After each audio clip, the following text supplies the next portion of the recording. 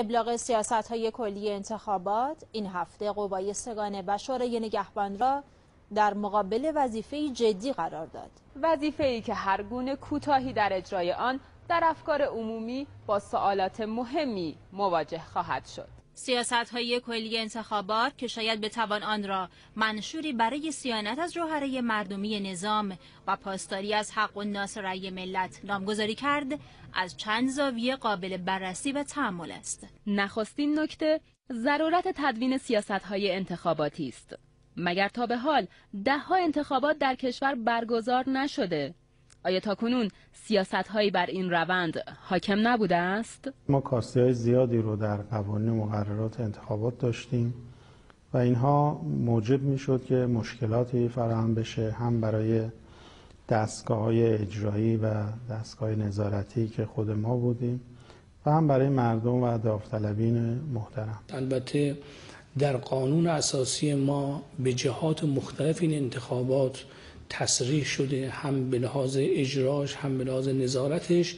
منتها طبیعی است که چنین امر مهمی و گسترده ای نیاز به قوانینی داره و نظاممند باید باشه. فرصت بسیار مناسبی است هم برای دولت هم برای مجلس برای شورای نگهبان و برای احزاب و گروه ها و همه مردم که بر اساس این سیاست های کلی قوانین انتخاباتی رو اگر اونجایی که لازم هست اصلاح کنن بازنویسی کنن دستورالعمل ها و شیوه های اجرایی. محسن اسماعیلی عضو حقوقدان شورای نگهبان که سالها درگیر مشکلات و کاستی های قوانین انتخاباتی بوده است برای تبیین اهمیت این سیاست ها تعبیری خاص دارد. این سیاست های کلی نظام در بخش انتخابات یکی از مهمترین تحولات حقوقی کشور رو رقم خواهد زد انشاءالله.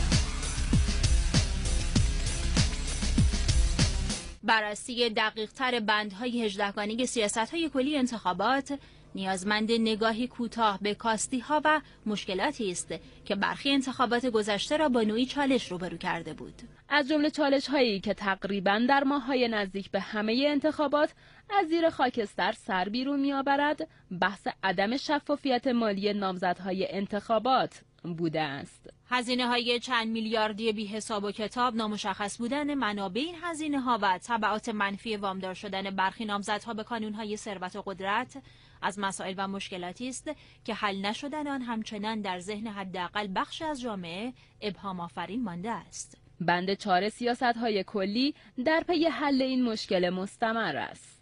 اجرای این بند مهم بی تردید نیازمند قانونی دقیق و هوشمندانه است. منابعی برای انتخابات استفاده کنه شما چطور نظارت می‌کنید؟ ببینید فرض کنیم که میام یک هیئتی رو در هر شهرستان یا در هر استان با توجه به نوع انتخابات تعیین می‌کنیم که اینها در واقع با نماینده داوطلب یک حساب مشترک باز می‌کنن تمام کمک هایی که در واقع میشه به اون حساب واریز میشه اسنادش در واقع بررسی میشه. اگه مورد تایید قرار گرفت در واقع تایید خواهد شد. طبق اون چارچوبایی که برای نوع هزینه ها و سطح هزینه ها و مقدار هزینه ها در واقع تعیین میشه. بعد از همون یک حساب استفاده از همون یک حساب استفاده کنه برای در واقع و مجاری اون حساب هم کاملا مشخص. بله، هر کمکی هم که میشه باید بیاد در اون حساب و در واقع از طریق اون حساب به اصطلاح عمل. برای ریاست جمهوری انتخابات ریاست جمهوری به همین در واقع همین فرم هست. بحث شفافیت مالی نامزدهای انتخابات البته از نظر کلی و نماینده مجلس بحث پیچیده است و نیازمند دقت مضاعف. شما نظرتون این هست که یعنی در واقع برای تبلیغات انتخابات در هر کدوم از این چهار تا انتخابات باید مشخص بکنن که چه مبلغی چه حدودی برای تبلیغات مشخص باید اصلا اگر شما حدود تبلیغات رو و منبع رو مثلا چقدر من من من, من کلیوان در شهرستان کرج با 2.5 میلیون جمعیت چقدر باید هزینه کنم؟ ابعاد حوزه من چقدره؟ من چقدر روستا دارم؟ چقدر شهرهای دیگه ای تو؟ مثلا فرض کنید یک نفر الان در یزد در یزد مثلا 6 تا شهر که از این سرش تا اون سرش 600 کیلومتره یک نماینده داره. این چقدر باید هزینه انتخاب تبلیغاتش باشه؟ ببینید معقولش رو باید ما در بیاریم. از جمله بندهای سیاستهای کلی انتخابات که احتمالاً در همین انتخابات آتی نیز به شاخصی برای افکار عمومی تبدیل می شود ممنوعیت استفاده از حمایتهای بیگانگان است. واقعیت این است که در آستانه هر انتخابات بیگانگان حداقل در قالب حمایت های آشکار و پنهان سیاسی و تبلیغی تلاش می کنند برخی چهره ها و جریان های سیاسی را در اذهان عمومی برجسته کنند. بند شش سیاست های انتخابات هم نامزدها و هم دستگاه های زیربط را در مقابل یک وظیفه مهم قرار می دهد. برخورد با این گونه حمایت ها اجرای این بند البته در درجه اول نیازمند اعلام براعت به موقع و مستمر نامزدها از هر گونه حمایت سیاسی تبلیغاتی بیگانگان است. آیا همه نامزدها حاضرند بهای اثبات دوری از بیگانگان را بپردازند یا به قانون شکنی می‌پردازند؟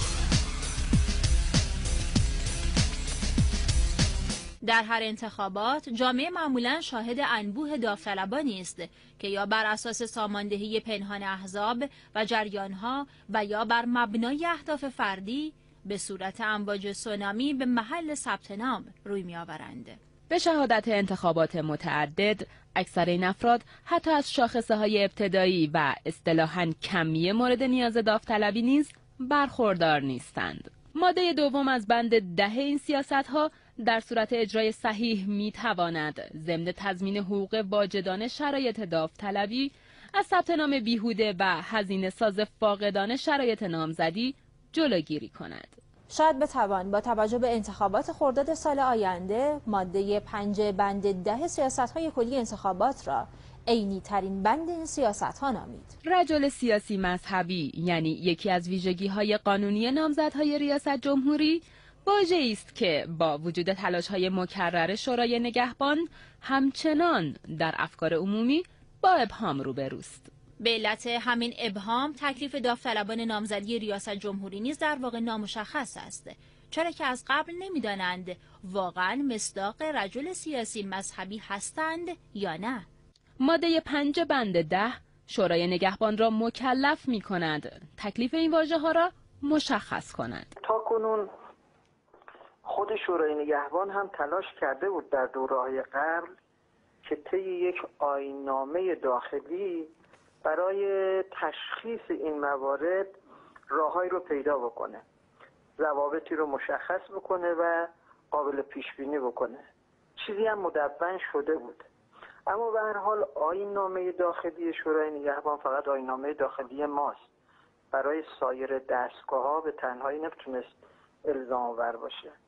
از طرف دیگه مشکلی که ایجاد می‌کرد این بود که کسانی که فکر می‌کردن می‌توانند داوطلب باشن نمی‌دونستن بالاخره آینده بررسی ها چگونه خواهد بود. و لذا می‌دیدیم طیف وسیعی میان خودشون رو داوطلب ریاست جمهوری می‌کنن که با همون نگاه اول بسیار از اونها خب اون شرایط لازم رو ممکن بود نداشته باشن. این رهنمودی و دستوری که مقام معظم رهبری دادن برای تبیین این چهار واژه انشاءالله به صورت جدیتری به تبیین مفاد این چهار شرط بپردازه و خب طبق نظر مقام معظم رهبری باید این رو هم به اطلاع همگان برسونیم که هر کسی بتواند تا یه حدی خودش رو ارزیابی بکنه که دارای این شرایط هست یا نیست در همین زمینه شاید بتوان ماده دوم بند یازدهم درباره ضرورت پاسخگویی مکتوب به داوطلبان رد صلاحیت شده را نیز مورد توجه خاصی قرار داد چرا که بسیاری از داوطلبان رد صلاحیت شده می‌گویند علت عدم صلاحیتشان به آنها اعلام نمی شود. بحث مهم دیگری که در سیاست های ابلاغی مورد تاکید قرار گرفته تعیین سازوکارهای لازم برای حسن اجرای وظایف نمایندگی و نظارت مستمر بر پایدار بودن شاخصهای نمایندگی است. این بند از آن جهت مهم است که به هر دلیلی ممکن است نمایندگان مجلس شورای اسلامی در طول دوره چهار ساله مجلس دچار زوال شاخصها شوند و یا حتی مشخص شود که از ابتدای شاخصها را نداشتند. البته نکته ای که باید در خلال بررسی ها و مسببات آتی در مجلس و شورای نگهبان مشخص شود نهادی است که باید اجرای این بند مهم یعنی نظارت مستمر بر شاخصهای نمایندگی را بر عهده گیرد آیا این وظیفه بر دوش شورای نگهبان است یا مجلس بیطرفی کامل مجریان و ناظران ممنوعیت ورود نیروهای مسلح دولت، مجلس، دستگاه قضا، وزارتخانه ها و نهادهای عمومی در دستبندی های انتخاباتی و جانبداری از داوطلبان از دیگر نکات مهم سیاست های ابلاغی ارزیابی شده است. این مسئله قبلا نیز ممنوع بوده است اما تاکید رهبر انقلاب بر آن نشان دهنده اهمیت اجرای دقیق این بند است.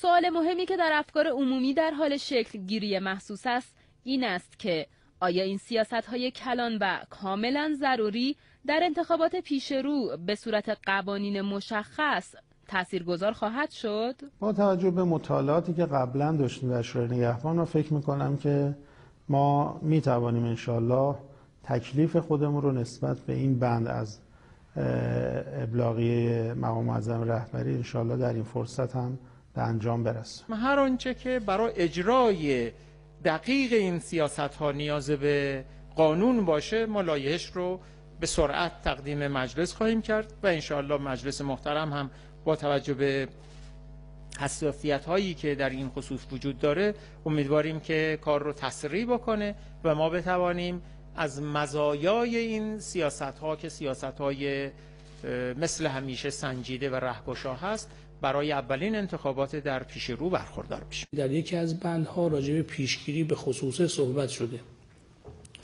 پیشگیری از تخلفات و جرایم انتخاباتی. با توجه به این ابلاغ این سیاست ها مناسب است در اسرع وقت انشاءالله این کارگروه تشکیل بشه برای استخراج مقتضیات این سیاست های کلی در دستگاه قضایی.